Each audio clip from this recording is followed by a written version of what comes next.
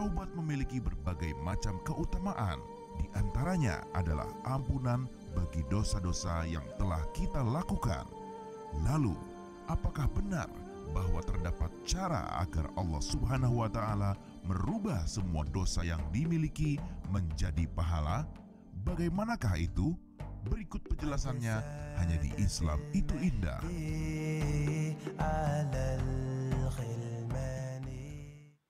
أعوذ الشيطان الرجيم.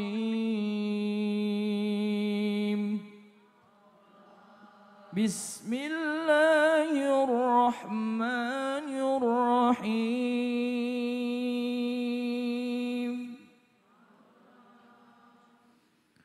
قل يا عبادي الذين أسرفوا على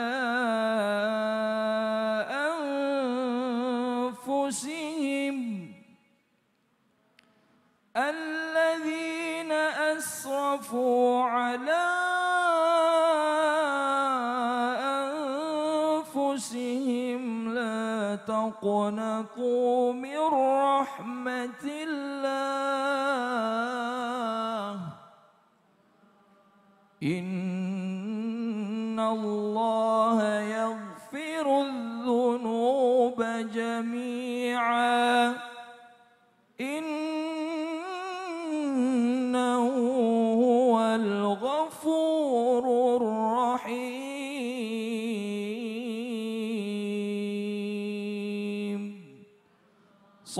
صدق الله العظيم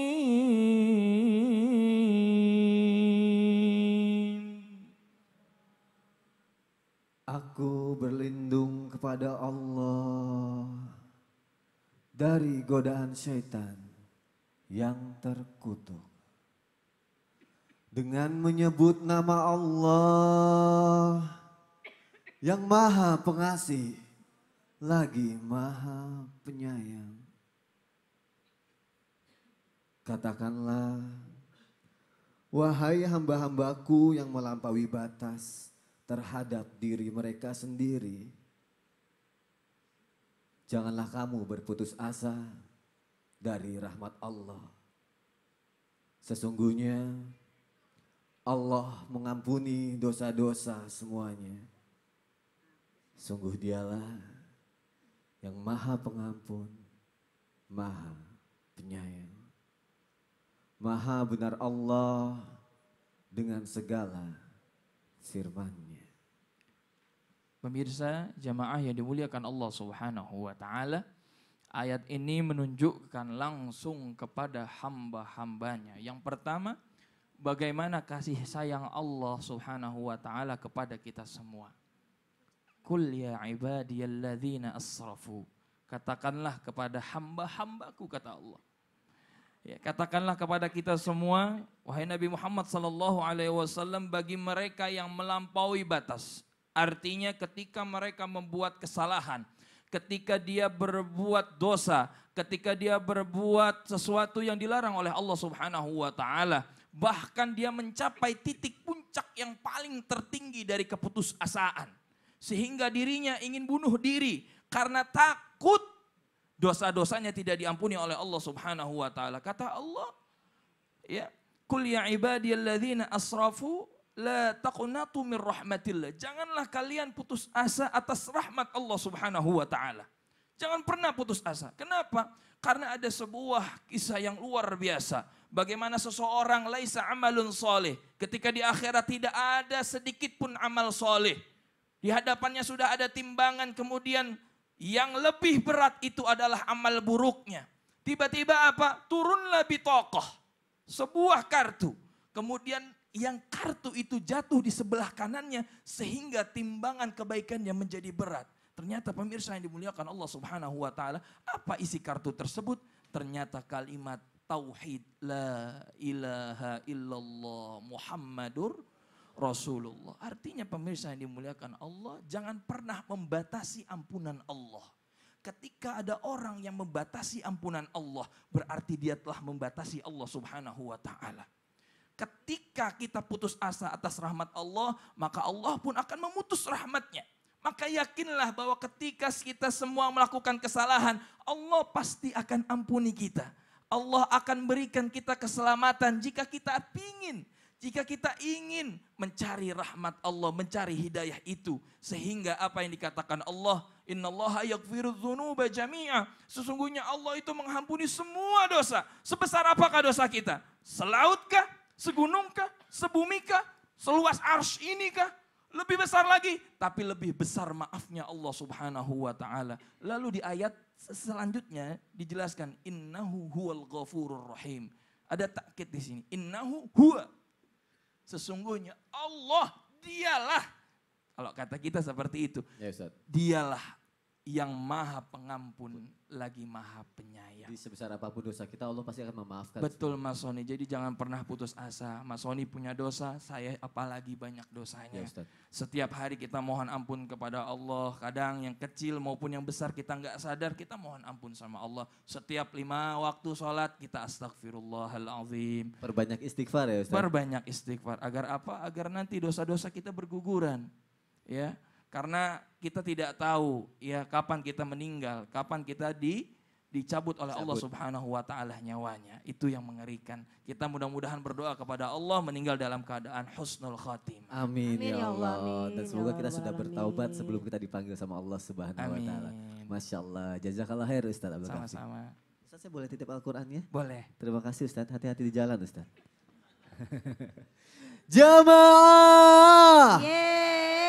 Oh jamaah. Oh, karena Ustazah Lulu bersemangat itu akan menularkan semangat buat kita pagi hari ini. Mau lanjut lagi Allah. tausiahnya? Lanjut. Kalau gitu Ustazah Lulu boleh dong maju ke depan. Oh, Eka maju nih. Maju dong. Oh baiklah. Ustaz baiklah. Bendri juga boleh dong. Insyaallah. Kita mau menjawab pertanyaan yang sudah masuk lagi ke eh, media sosial Islam itu indah ya. Langsung aja ya kita jawab ya. Pertanyaan yang pertama ada dari Ed Andrianti 283. Tebak tuh nomor apa 283. Tuh. Assalamualaikum warahmatullahi wabarakatuh Ustadz, Ustazah. warahmatullahi wabarakatuh. Bagaimana dan seperti apa sih batasan ketaatan dan kebaktian seorang anak perempuan yang sudah menikah terhadap orang tuanya?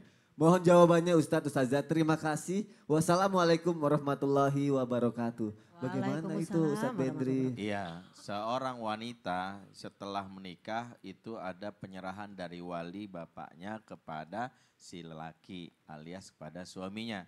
Maka selama pernikahan itu berlangsung, maka ketaatannya kepada suaminya yang utama. Surganya seorang istri ada di suami. Unzur aina ati minhu fa innahu jannatuki wa naruki. Berarti bagaimana orang tua? Yang jelas pertama orang tua kita berikan sebagai hak-hak-haknya selagi tidak mendahulukan hak suami. Ya, yang jelas ketika suami minta bilang, "Maaf, mah, ini suamiku minta ketemuan dulu." Ya, itu yang paling penting. Yang kedua adalah tetap kalaupun misalnya ada hal-hal yang terkait dengan penolakan, sampaikanlah dengan bahasa yang baik. Jangan bilang dulu waktu jadi anak suruh-suruh, sekarang disuruh-suruh lagi kan udah udah nikah mah nggak boleh gitu. Tetap harus melakukan perbuatan baik. Ketiga, ajak suami mengatakan bahwa Mas, Mama, Papa biar bagaimana nih pintu surganya kita. Jadi tetap dimuliakan. Kau perlu berlomba-lomba untuk bagaimana memberikan yang terbaik untuk orang tuanya. Insya Allah rumah tangganya berkah kalau ada ridho orang tua dari kedua belah pihak. Dari pihak suami dan dari pihak istri. Yang penting berlomba-lomba untuk memberikan kebaikan kepada orang tua itu Betul. paling penting poin utamanya ya Ustaz. Insya ya. Allah. Masya Allah, jazakallah Ustaz. Alhamdulillah. Pertanyaan selanjutnya dari Ed Ahmadal Firizal. Assalamualaikum Ustadz Ustazah. Saya mau bertanya apakah dosa besar seperti zina, minum-minuman khamar akan diampunkan Allah setelah kita bertaubat nasuha? Dan apakah setelah kita bertaubat dosa-dosa besar yang kita perbuat akan dibalas di akhirat? Nah, itu gimana Ustazah Serem Lulu? banget ya. Dosanya zina, minum-minuman Minuman khamar. Apakah? Nah, moto aja foto banget nih. Banget. Bu, banget. jangan pada bengong. Pada punya dosa nggak? Nah, yuk kita jawab bareng-bareng ya. Apakah ketika orang itu pernah berzina, pernah minum homer, kemudian taubat nasuha, apakah setelah itu taubatnya diterima oleh Allah? Kalau kita merujuk kepada tadi surat yang dinyatakan oleh guru kita. Wahai hamba-hambaku yang pernah melampaui batas. ya Jangan kamu putus asa dari rahmat Allah. Bertobat, bertobat aja. Masalahnya ya, yang namanya Allah subhanahu wa ta'ala itu adalah Allah sangat-sangat maha pemurah, maha penyayang. Dalam hadis dari Abu Hurairah, inna rahmati golabat godobi. Memang aku marah kepada hambaku kalau dia sedang ber, buat maksiat. Tapi ketika bertobat, rahmatku mengalahkan murkaku. Hadis riwayat Bukhari. Artinya udah minta maaf, minta ampun kepada Allah. Kadang-kadang Allah itu ya, bukan kadang-kadang artinya Allah itu udah pasti maha pengampun. Tapi yang kejam kadang-kadang netizen. Nah, Dosa tuh dosa tuh dosa Iya, iya, gitu. iya. Ya kan padahal Allah maha pengasih maha penyayang. netizen malah lebih parah. Uh, lebih parah lagi. Nauzubillah min zalik. Jadi kalau kita kembali kepada Allah, dalam hadis tadi nyatakan inna rahmati golabat godobi. Yang penting kau datang padaku, banyak-banyak istighfar tadi guru kita menyatakan. Kenapa? Ya. Eh paling tobatnya tobat sambal tuh juga kumat lagi. Eh ingat, istighfar itu kan tiga. Dimarahin Istighfar itu adalah apa? tuh. Istighfar itu adalah tiga kata ya. Dari satu kata menjadi Apa, tiga.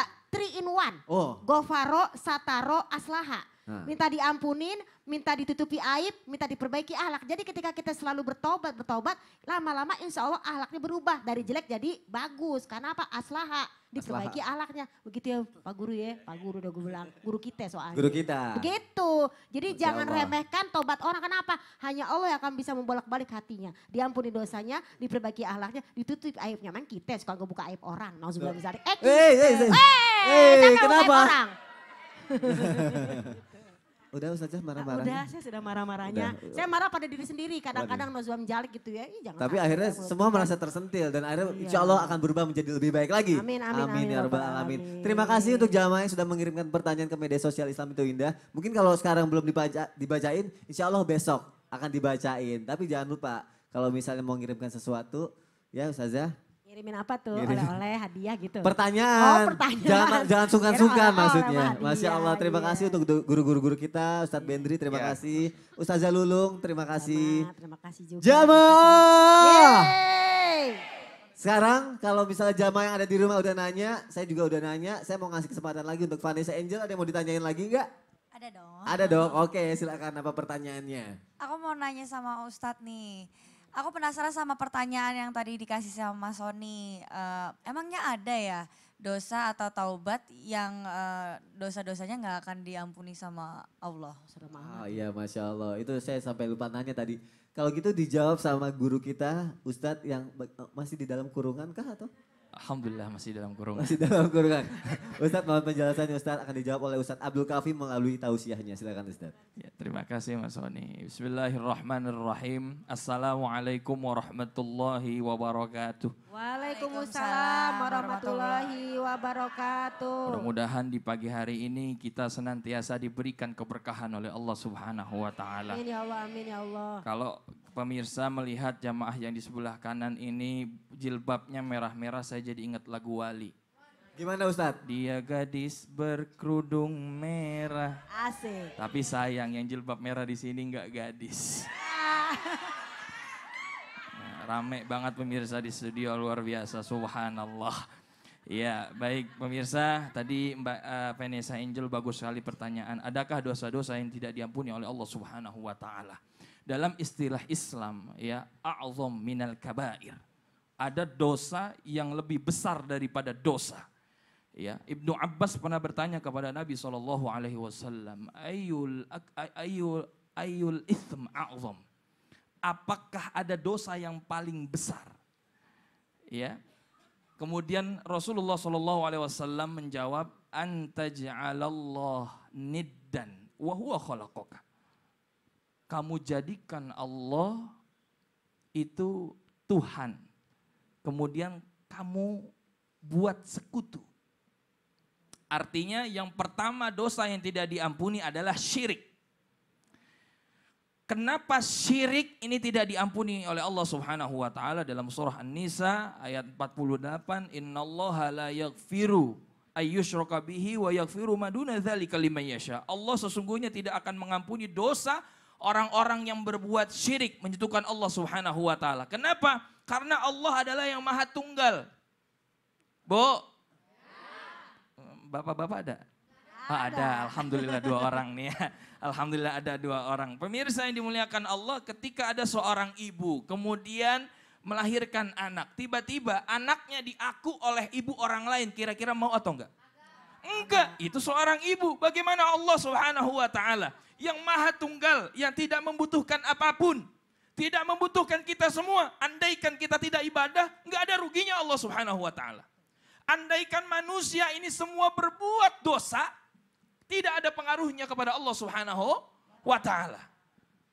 Maka kata Allah jangan sampai kamu menjatuhkan Allah. Yang pertama, dosanya itu sangat besar. Allah nggak mau diduakan.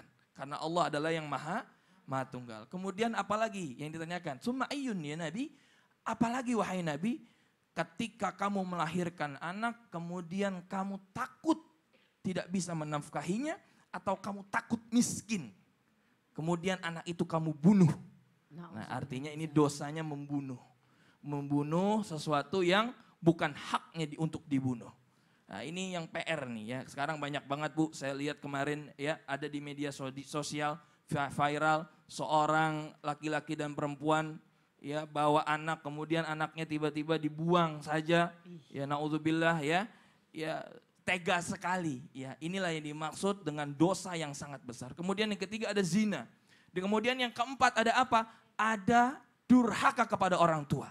Ini adalah termasuk dosa yang besar. Nabi SAW mengatakan bahwa termasuk dosa besar adalah orang-orang yang dia durhaka kepada orang tua. Intinya pemirsa yang dimuliakan Allah Subhanahu wa taala, Ustadz bisa nggak sih sebenarnya dosa-dosa yang sudah besar itu diampuni oleh Allah? Jawabannya adalah bisa. Sampai kapan tadi guru kita Ustadz Bendri mengatakan sampai ajal menjemput kita batas waktunya. Kemudian yang kedua, sampai hari kiamat. Ketika hari kiamat tiba, na'udzubillah summa na'udzubillah, tidak ada lagi pintu taubat, semuanya ditutup, semua manusia merugi. Bagi orang-orang yang telat bertau, bertaubat. Pemirsa yang dimuliakan Allah Subhanahu wa taala, sebesar apa pun dosa kita akan diampuni oleh Allah Subhanahu wa taala. Bagaimana caranya Ustadz? Mudah sekali pemirsa. Cukup kita mandi taubat, kemudian tengah malam kita gelar sajadah, kita akui dosa-dosa kita, kemudian kita mohon ampun kepada Allah, kita sholat taubat, ya Allah, dosa saya banyak ya Allah. Ya Allah, kesalahan saya begitu besar ya Allah. Ya Allah, maafkanlah dosa-dosaku ya Allah. Ya Allah, ampunilah dosa-dosaku. Minta dengan sungguh-sungguh dan tidak mengulangi perbuatan itu, insya Allah Allah akan menerima taubat kita. Amin ya Allah. Mudah sekali menjadi masoni kalau kita ingin taubat. Ya Ustaz. Iya nggak butuh yang namanya itu duit sampai juta-jutaan, nggak butuh. Hanya Allah tuh cuma butuh kita gelar sejadah, mohon ampun minta sama Allah. Allah insya Allah akan mengampuni semuanya. Insya Allah Allah akan mengampuni semua dosa kita Allah asalkan kita niat tidak kita. mengulanginya lagi. Asal jangan sirik ya. Iya, jangan ngulangin lagi. Karena kalau misalnya bicara masalah tidak mengulangi dosa atau sirik, saya jadi ingat nenek saya. eh, dulu dia Kenapa, Mas? sering melakukan sirik. Saya sampai tanya, kenapa nek kamu kayak gitu? Iya biar giginya kuat apa segala macam. Oh, Iya. Sirik itu.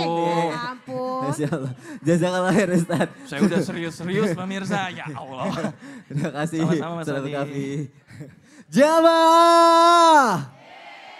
Ini pertanyaan penting sekali nih sekarang. Saya mau nanya sama Ustazah Lulung. Iya, Ustazah, mohon izin Ustazah. Iya. Dari tadi sini Oh, dong ke situ, Ustazah. ya Ustazah nggak mau deket-deket saya. Gak mau dekat-dekat, bukan muhrim. Bukan mahram. Ustazah, dari tadi kita membahas bagaimana cara bertobat, terus bagaimana supaya kita tidak melakukan dosa lagi. Nah, ini bagaimana caranya mengubah dosa kita menjadi pahala Ustazah? Aduh, cakep Ah, banget tuh ya. Cakep banget Dosa ya jadi Ustazah. pahala. Ah, ah. Mohon penjelasannya Ustazah. Insya. Allah, insya Allah. Bil barokah. Mohon izin guru-guru. Jamaah.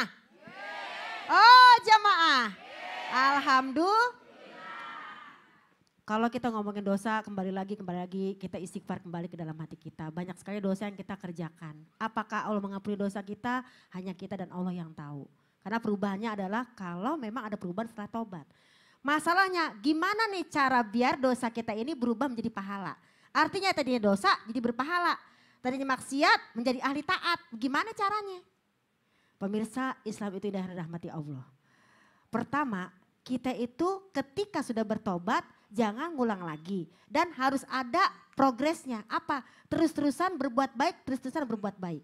Jadi kalau emang kemarin pelit kan dosa tuh.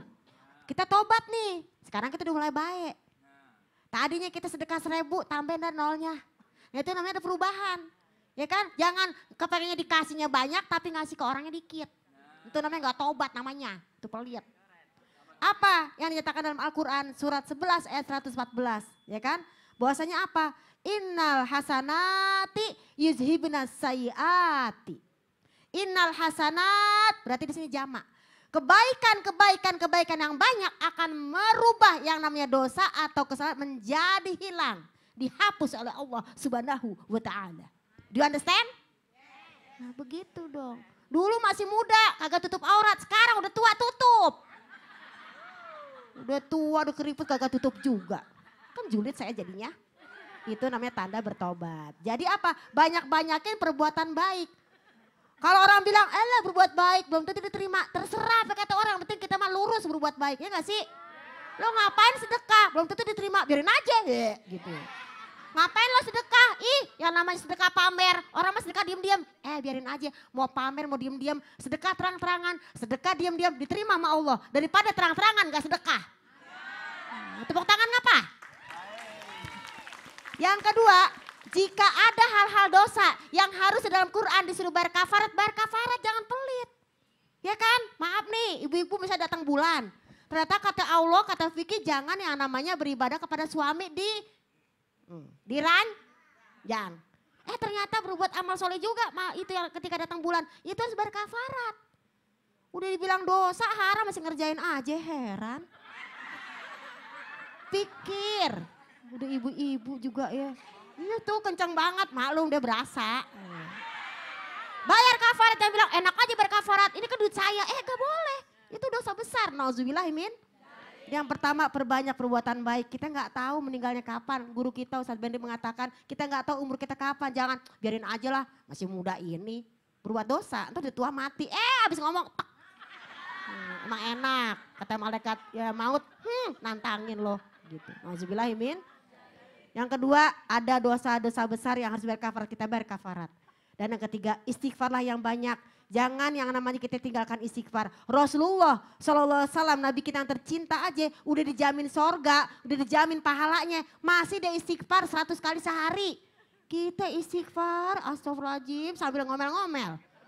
Bocah kagak mau sholat, kita ngomel, astagfirullahaladzim. Begitu. Kata Allah istighfarnya sambil ngomel-ngomel. Udah gitu bukan pakai ghoin, pakai kaf. Astagfirullah, astagfirullah. Berarti apa? Berarti orang itu bukan minta diampuni tapi minta dikafirkan. Nauzubillahimin. Artinya apa? Dalam surat Al-Furqan dinyatakan illa man taba wa amana wa amila amalan solehan faulaika yubadilullah sayiatihim hasanatin.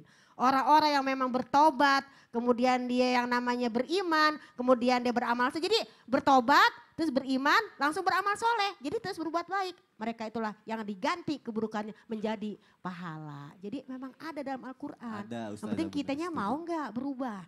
Berubah menjadi lebih baik. Berubah menjadi lebih baik. Hijrah, hijrah, hijrah. Hijrah, hijrah dimulai begitu. dengan istighfar yang banyak dulu ya. Istighfar Semoga yang Allah mengampuni dulu. dosa kita. Amin, amin, Masya ya Allah. Jazakil khair Ustazah. wa iyyakum ajma'in wal hafalkum wa Jamaah. Yeay. Setiap hari adalah kesempatan untuk merubah diri kita menjadi lebih baik. Kita bisa mulai pagi hari ini dengan kita mendengarkan tausiah dari guru-guru kita yang tercinta. Insya Allah akan banyak perubahan dalam diri kita Amin. dan kita aplikasikan dalam hidup kita. Amin, Setuju? Amin, setuju. Ya Allah. amin, Vanessa Angel amin. setuju? Setuju. Masya Allah, setujunya Setuju. kayaknya masih aja banyak pertanyaan yang mau ditanya ini dari setujunya nih. Hah? Iya. Bener ya? Iya betul. Oh, saya bisa nebak Ustadz. Ih, alhamdulillah ya. Saya juga bisa nebak kok. Apa? Dia pengen nanya kan? Eh, itu tadi udah. Oh iya. iya. Kita jangan main tebak-tebakan dong. Tuh, Iya. jangan main tebak-tebakan katanya. Oh gitu ya. Heeh, langsung aja. Iya. Silakan Vanessa Angel.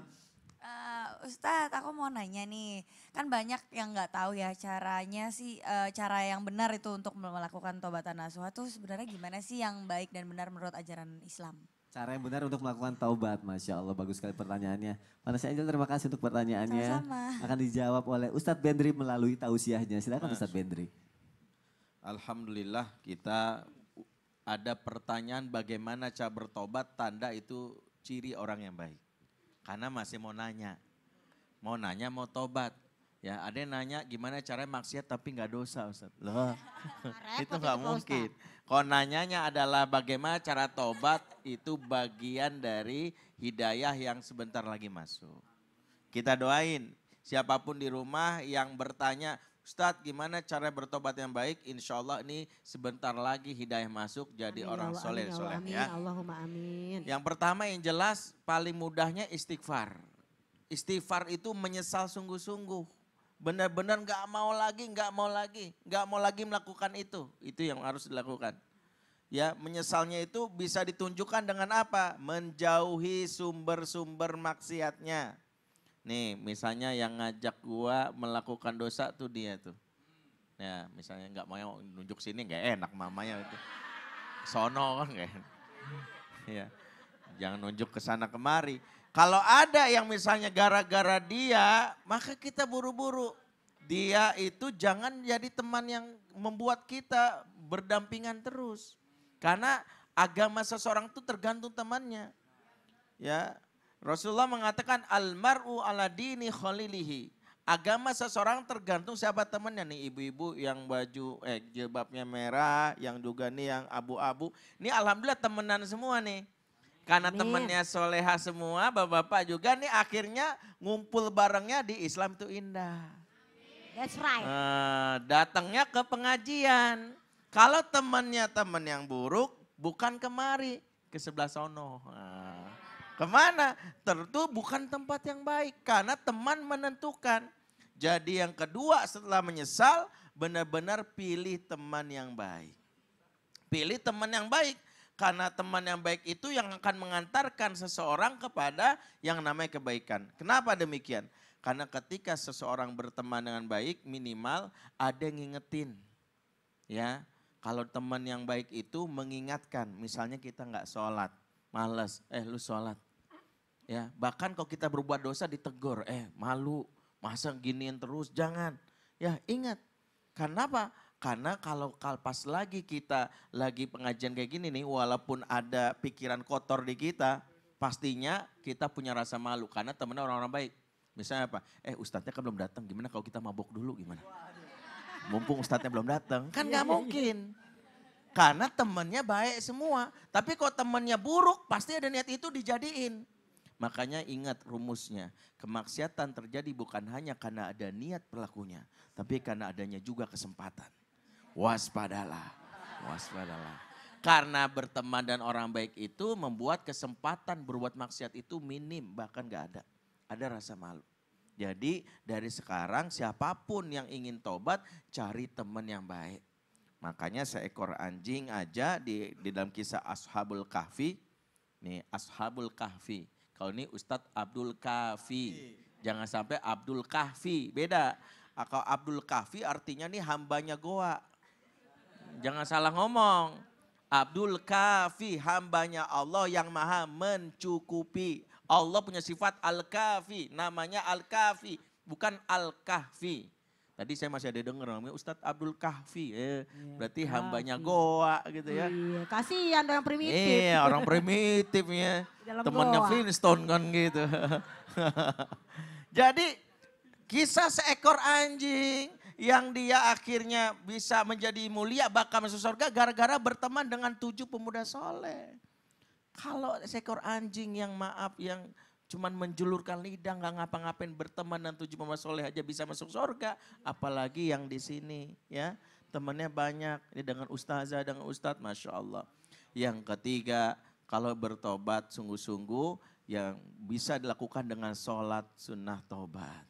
Ini juga salah satu yang diajarkan. Walaupun dari sebagian ulama berbeda pendapat, tapi insya Allah kalau sungguh-sungguh melakukannya akan diampuni oleh Allah. Dan yang keempat paling penting nih, tobat hanya bisa menjadi istiqomah kalau dibimbing. Habis tobat ngaji sama ustadz rutin. Ah. Ya tobat sekarang, habis itu nggak mau ngaji lagi, Nggak- maksiat nggak ngaji lagi. nggak sholat lagi. Makanya sering-sering nonton Islam itu indah itu bagian dari membimbing supaya tobatnya benar. Nah Amin, itu amin, penting amin. sekali Masya Iya. Allah. Jazakallah khair Ustadz.